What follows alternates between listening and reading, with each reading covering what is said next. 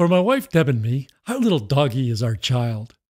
Coco is our grand poobah of happiness, so we never want to see him distressed.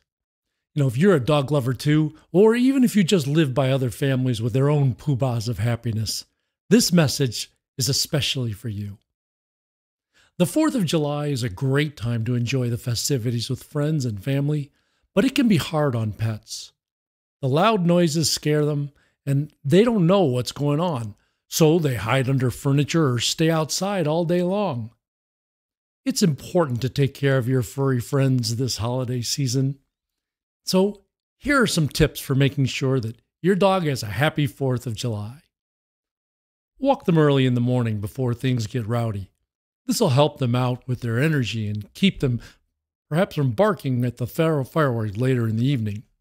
Try giving them a treat that you give only during fireworks celebrations, something like peanut butter or cheese. This will help calm their nerves, and when the fireworks go off, well, they'll associate them with something positive. Now, if your dog's still nervous during fireworks celebrations, try playing music on low and talking to them calmly.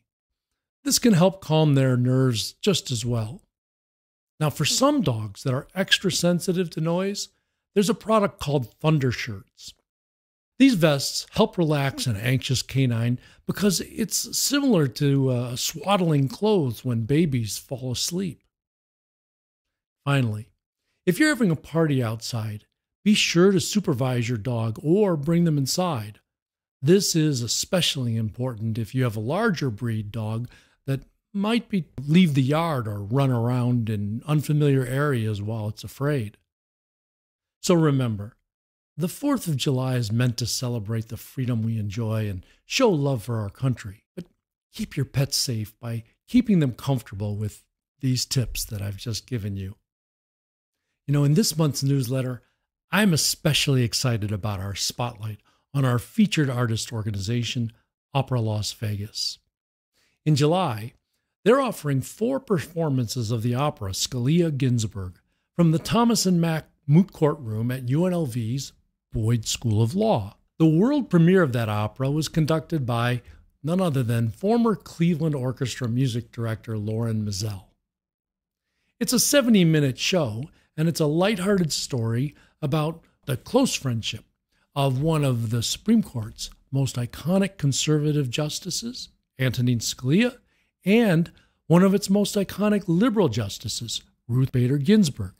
And the two of them, they shared a common bond beyond the bench, and it was their mutual love of opera. It's hard to imagine any form of entertainment that hits on more of my interests all at once. So, if you're in Las Vegas on July 8th, 9th, 10th, or 11th, I hope you'll be able to attend a performance. I know I'm looking forward to it. Have a very happy 4th of July and enjoy your summer, everyone. Each month, we'll have videos on how to use the law to take care of your business and your family. This month's videos are here on the right. If these subjects interest you, consider subscribing. And of course, if you like this video, hit the thumbs up button for us.